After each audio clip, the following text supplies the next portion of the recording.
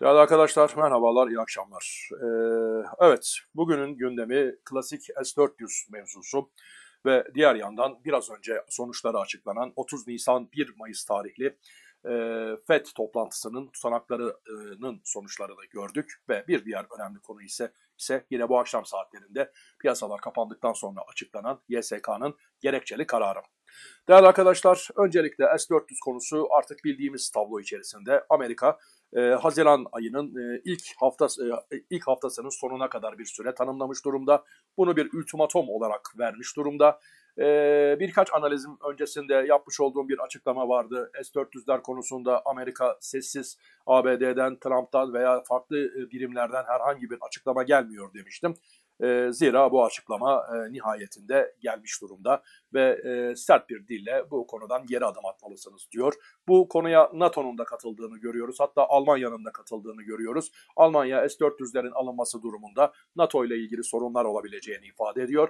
Ve bu hususa bir de Rusya'nın katıldığına tanık olduk bugün. Rusya'da e, bu hususta S-400'lerin Türkiye tarafından alınması, teslim alınması vesaire gibi konularında Amerika'nın yaptırım uygulamasının kabul edilemez bir durum olduğunu ifade ediyor. Yani arkadaşlar bu S-400 meselesi artık tam anlamıyla bir uluslararası mesele haline gelmiş durumda. Almanya'sı, NATO ülkeleri, Rusya'sı, Amerika'sı derken bütün ülkeler bazında önemli bir sorun olarak e, gündemde bulunuyor. Nasıl çözülecek? Bir çözüm bulunacak mı, bulunmayacak mı? Ve bu gerginlik içerisinde e, dolar TL'nin yaşamış olduğu stres ne boyutlara ulaşacak? Bunu hep birlikte yaşayıp göreceğiz.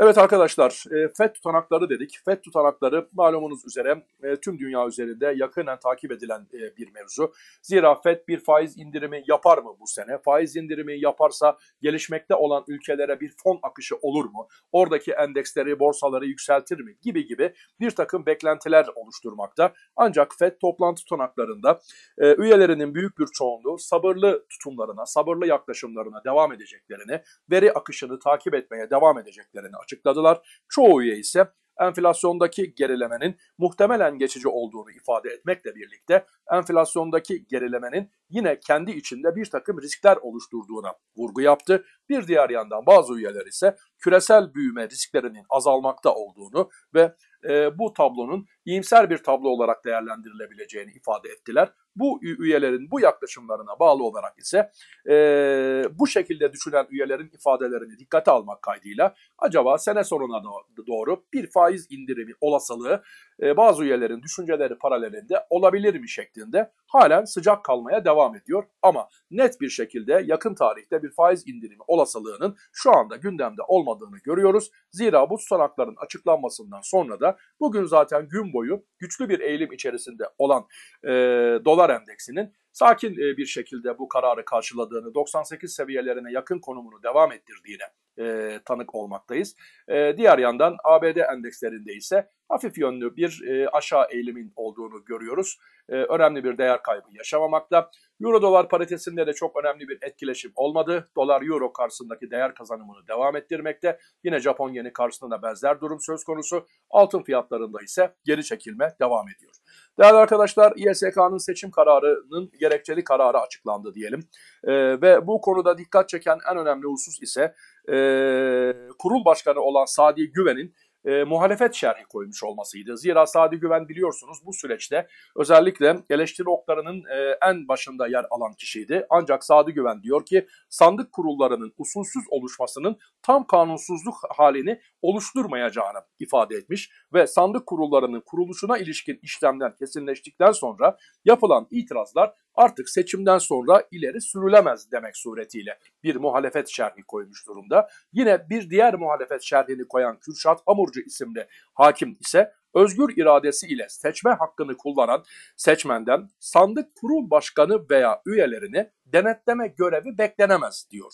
Bu sorumluluk seçimi yöneten idareye aittir. Sandık kurulu başkanının kamu görevlisi olmaması seçmene yüklenebilecek olan bir kusur değildir. Yani demek istiyor ki seçimlerin iptaliyle seçmenin hiçbir kusuru yok. Burada seçmeni cezalandırmış oluyorsunuz anlamına gelecek bir ifadede bulunmuş ve seçimin iptali seçmen iradesinin yok sayılması anayasa ve uluslararası anlaşmalarla güvence altına alınmış olan temel vatandaşlık hakkının da özü özüne müdahaledir şeklinde bir açıklama getirmiş durumda. Merakla beklenen kararın e, dikkat çekici hususlarıydı. Evet arkadaşlar dolar TL konusuna gelecek olur istek Malumunuz üzere e, en son vermiş olduğum, dün akşam vermiş olduğum analizimde dolar TL'nin özellikle Merkez Bankası'nın atmış olduğu adımlar ve çok zamansız bir şekilde ortam normalleşti e, şeklindeki bir gerekçeyle swap faizlerini düşürmüş olması ve diğer yandan daha öncesinden almış olduğu bir takım kısıtlamalar işte 100 bin dolar üzerindeki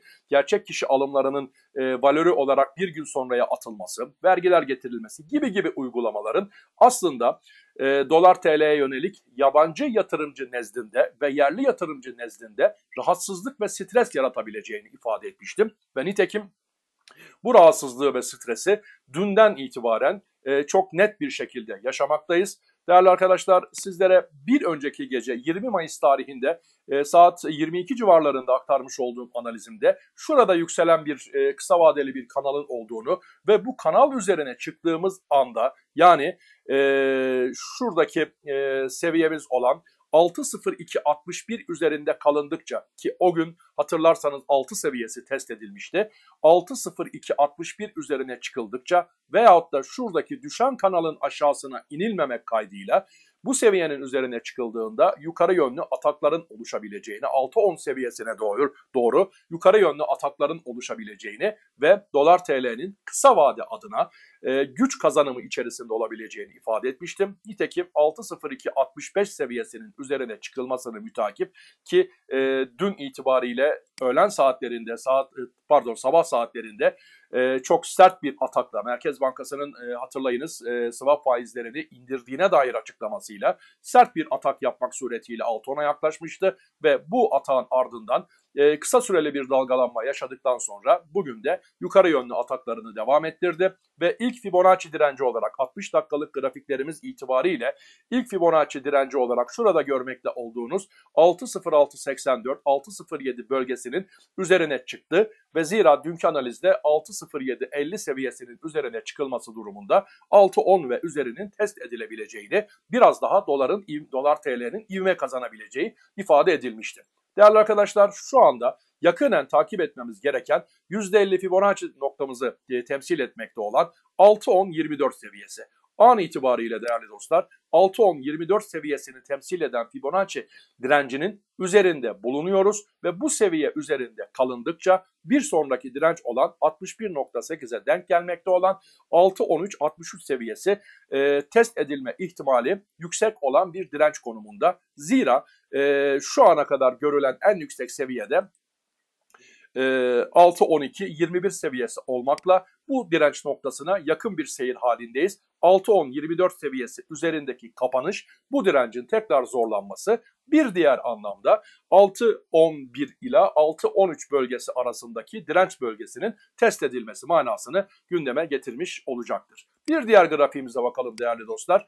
Bu grafiğimizde e, bunu tanıyorsunuz zaten 5.98 seviyesinin artık destek olarak takip edildiği bir grafik ve bu desteğin üzerinde bir sonraki Fibonacci direncimiz 6.14.66 seviyesini ifade etmekte ve zira 6.10 seviyesi üzerinde biraz önce ifade ettiğim 6.10 seviyesi üzerinde kapanış yaşanabilir ise ilk dikkat etmemiz gereken direnç bölgemiz 6.14-6.15 seviyesi olacaktır veya 6.13-6.15 bölgesi olacaktır diyebiliriz. Bu bölgenin aşılması durumunda ise e, 6.20-6.23 bölgesindeki direnç bölgesinin henüz bir kere test edilmiş bir bölge olması nedeniyle bu seviyenin biraz daha hızlı geçilme ihtimalinin var olduğundan ve sonraki seviyenin ise 6.40 olabileceğinden sürekli olarak bahsediyorum.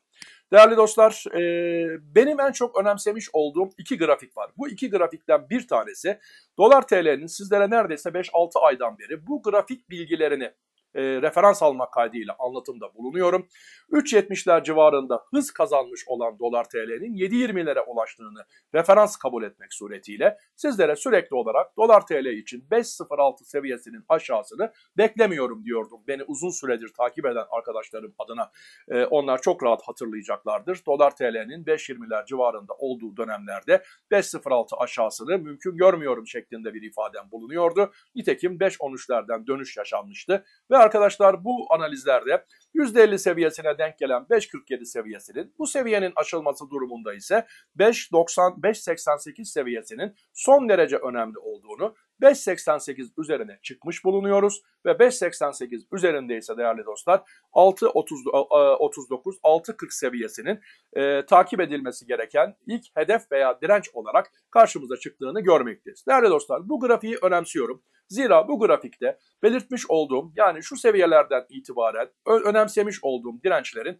son derece ciddiyetle çalıştığına ve bu dirençlerin aşılmasından sonra da destek konumuna geldiğine tanık oluyoruz. Şu anda arkadaşlar 5.88 seviyesi kendi açıma e, tamamıyla şahsımı bağlamak kaydıyla son derece önemli bir stop loss noktası olarak tarafından değerlendirilecektir. Zira 5.88'in üzerinde kalınması ise 6.40 seviyesine yönelik bir atağı her an gündemde tutabilecek kadar e, yukarı yönlü hareketin veyahut da e, dolar TL'deki orta vadeli yükseliş trendinin devamı anlamına gelecektir.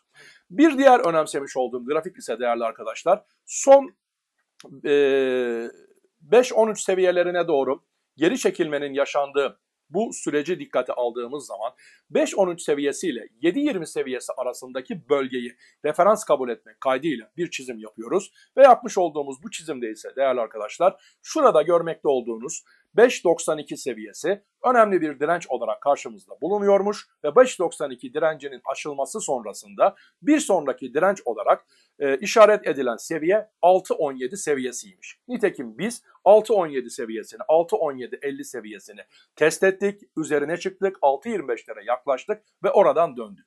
Arkadaşlar şu aşamada yine iki önemli seviye olarak. Birinci seviye 5.92 desteği, ikinci seviye ise 6.17 e, direnci yakından takip edilmeli. 6.13 ile 6.15 bölgesinin halen 6 seviyesinden başlayan tepkinin bir direnç bölgesi olarak değerlendirilebilir ama 6.17 seviyesi önemli bir direnç seviyesi olarak yakından izlenmesi adına bir köşeye not alınması gereken önemli seviyelerden biri, birisi olduğu kanaatindeyim. 6.17'nin aşılması ve 6.17 seviyesinde yakın geçmişte olduğu gibi 6.20'lere 23'lere gidip de oralardan e, tutunamayıp geri dönüşlerin olması ve 6.17 üzerinde tutunamama gibi bir tablonun oluşmaması yani 6.17 üzerinde minimum iki kapanışın gerçekleşmesi durumunda ise öncelikle takip edeceğimiz seviye yine bildiğimiz 6.40 seviyesi olarak karşımıza çıkmakta.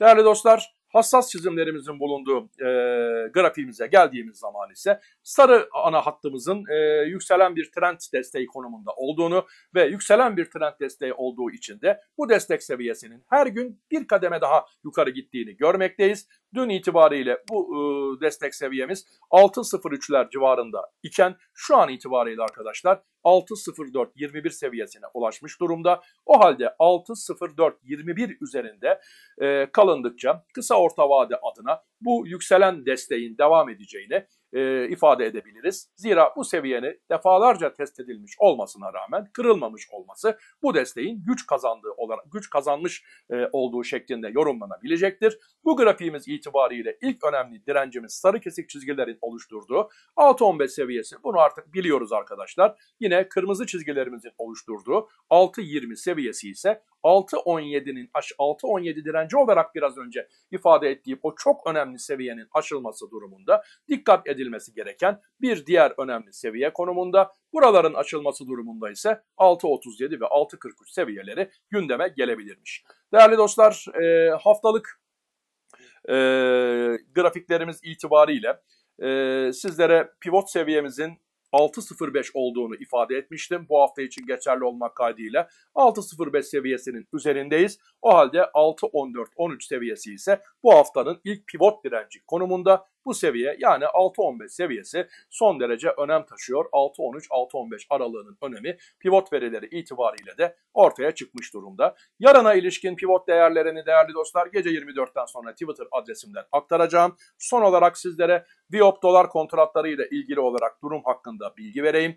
Biop dolar kontratları için değerli dostlar dün itibariyle vermiş olduğum pivot seviyelerinde bugüne dair geçerli olacak şekilde 6.11 ve 6.15, 6.12 ve 6.15 seviyelerinin önemli olduğunu ifade etmiştim. 6.08 üzerinde kalınmak şartıyla. Zira bugün test edilen seviye 6.12 seviyesi birinci direnç noktası test edilmiş. E, durumda. Pardon 6.14 seviyesi 6.13.81 seviyesi test edilmiş durumda. Kapanışımız 6.13.24 ile en yüksek seviyeye yakın bir konumda. Yarın için pivot seviyemiz 6.12 olarak görülüyor. Yarın arkadaşlar 6.12 üzerinde kalınması durumunda 6.15 ve bir sonra da 6.17 ve 6.20 noktalarına, direnç noktalarına, pivot direnç noktalarına, Viyop Mayıs dolar kontratlar adına dikkat etmek gerekiyor. 6.12'nin aşağısında kalınması durumunda ise 6.11 ve 6.07 50 seviyeleri takip edilmesi gereken destek noktaları konumunda. Merkez Bankası Mayıs kontratlarında uzunca bir zamandan olduğu gibi